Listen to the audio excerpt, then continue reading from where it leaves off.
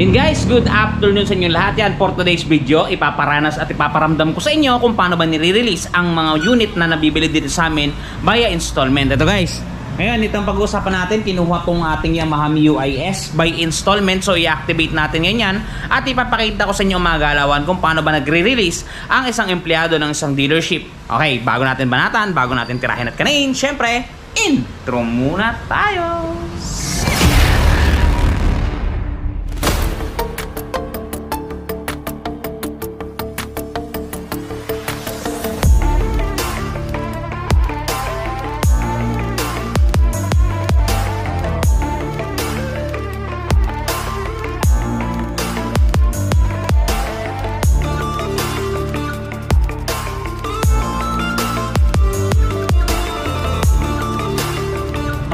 Proceed na tayo sa activation ng ating unit. Yan, kung mapapansin ninyo, medyo malinis na ang ating unit. So, no need to punas-punas na. Talagang rekta na siya. Yan. Nabalatan ko na guys, tanggal ko na yung mga plastic-plastic. Ngayon, i-activate muna natin ang kanyang battery. Alright. guys, i-activate natin ang kanyang baterya. Yan, kung mapapansin ninyo, ito yung kanyang new box. Alisin muna natin yung mga iba-iba dyan. So guys, yan. Sa pag-activate na to, kailangan nyo munang hugutin itong ah, pinaka-wire kasi naka-intact yan dyan, nakalagay yan dyan. Tanggalin nyo muna para hindi kayo mahirapan. Yan yung technique dyan guys. Yan, ilagay nyo na yung mga nut doon sa loob ng baterya para mamaya ay tuloy-tuloy na lang tayo doon sa pag-a-attach na to. Pagtutornilyo ng dalawa. So guys, ang kailangan natin, positive screw. Yan. Unahin natin yung negative. Kasi yung negative ang medyo mahirap-hirap ditong ilagay. Pero ilagay na rin natin tong muna positive pala. Ang gulo ko no. Positive muna unahin natin para mamaya may salpak na natin ng mas mabilis. Para hindi tayo mahirapan dumukot sa gilid. Yung iba kasi guys nahihirapan dito mag-activate pag hindi nila ina inaalis yung wire na yan. Kaya tayo ngayon, aalisin muna natin. Yan, para kitang-kita natin ang kanyang galawan. Yun, pumasok na. Sa tulong na to, hindi tayo mahihirapan. Positive screw to eh.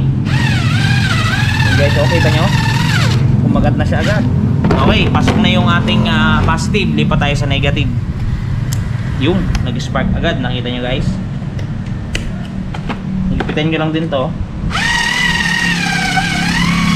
Yan. Pag naigpitan nyo, ibalik, ilagay nyo yung mga wire dito. Yan. Ibalik nyo lang siya para hindi magbulbul na parang pansit. Tapos itong fuse ilugbog nyo lang dyan. Tapos alisin nyo yung mga tornilyo na to. Baklasin nyo yan. Baklasin nyo rin to. Yan. Tapos ilagay nyo itong pinakatakip. Sa paglalagay na to i-snap snap nyo muna dito guys. Yan o may, naka, may ano kasi yan may palawit yan dyan. Para hindi kayo mahirapan hindi kayo magdalawang isip sa mga magiging problema. Yan, yun. Pag sumakto na yon siyempre higpitan ulit. Luwag higpit lang naman ang gagawin natin dito guys. Luwag higpit. Yun, mahigpit na siya. All in all, goods na guys. Testing natin kung gumagana siya. Testing muna natin. Yun o, gumana na guys o, busina Alright. Okay guys, na-activate na natin. Guys, ito lang ang kasama mga tools niyan. Pangtanggal ng spark plug at saka screw. Positive at saka negative. Nakalagay na yun dyan. Tsaka meron siyang pre na fuse. Yun lang guys. Okay, i-stencilin natin ang unit guys. Okay, guys, sa pag-stencil itong kailangan natin. Ang stencil form, yan, sale yan. Stencil form, scotch tape at saka yung ating carbon. Yan yung ating mga gagamitin. Okay, stencilin natin guys. Dito yung matatagpuan ng chassis number sa ilalim ng ah, bandang U-box. Yan. Para makuha niyo yan, kukuskusin niyo ng carbon. Didikit niyo doon sa number, tapos kukuskusin niyo ng carbon para dumikit doon yung carbon. Para doon sa mga hindi nakakaalam. Tapos kukuha na kayo ng scotch tape. Yan. Pag nakakuha kayo ng tape, syempre, ididikit nyo. Para makuha niya lahat yung mga nabakat na ah, numbers ng ating carbon. Yan. Didiinan nyo muna syempre para mahigop niya o dumikit sa kanya yung mga tatak. Yan. Once na dumikit yan, hilahin nyo. Ito na guys, ang chassis number. Ididikit nyo lang dito sa stencil form. Yan. Ganun lang guys, para doon sa mga gumugusto magtrabaho sa motorcycle industry yan. Ganun lang ang pag stencil At ang engine chassis yan guys ay dito ninyo matatagpuan sa ilalim. Okay. Guys, so kompleto na natin ang kanyang engine at chassis number. Yan, kompleto na. Engine, chassis, engine, chassis. Okay, ngayon, bibili tayo ng gasolina para i-activate na ito. Okay guys, Alright. ngayon hingi tayo ng pambili ng gasolina. Ars, pahingin pambili ng gas. gas expenses. Tayo naghingi sa nanay natin, oh. ng pera pambaon. Yun. Okay, bili tayo. Bili tayo guys ng gas. Wala, ang, wala yung ating kabadingin. So tayong bibili ng gasolina. Yan.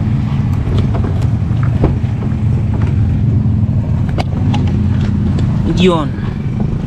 Bili tayo guys ng ating gasolina. Guys, naisalin na natin ng gasolina. Atin na siyang paandarin. Yan. Ito nga pala itsura ng susi guys ng Mio i125S. Meron siyang ah, remote doon sa kanyang susi na kayo nakasama. Tapos yung isa, normal lang. Okay. Start natin ang engine. Yan. Hapitin natin ang lever para um-start. Yun, ayaw ng unang attempt. Teka natin. Ayaw ulit. Yun! Pangatlong attempt, pumala na ang ating unit. Yan guys, pakinggan ninyo ang galawan at andaran ng ating Yamaha MIUI 125S. Yan, mandar na yan.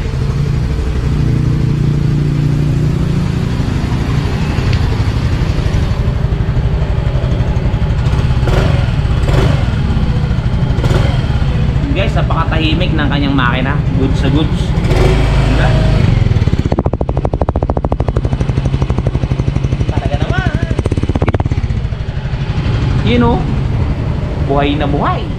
Bago natin makalimutan, ito nga palang presyo ng ating Yamaha MIUI 125S. Ito guys, SRP natin is 82,900 pesos. Down payment natin is 4,145. Magiging monthly po ninyo sa dalawang taon 5,163 sa tatlong taon 4,012 pesos. Yan po ang kwentada at presyuhan ng ating Yamaha MIUI 125. And guys, another satisfied client. Yan sila sir. Yan, maraming salamat po. Ingat po kayo. Salamat, sir. Yun, napakaganda guys ng motor na napili nila, matte blue na Yamaha MIUI 125. Salamat po, ingat po. Yan o.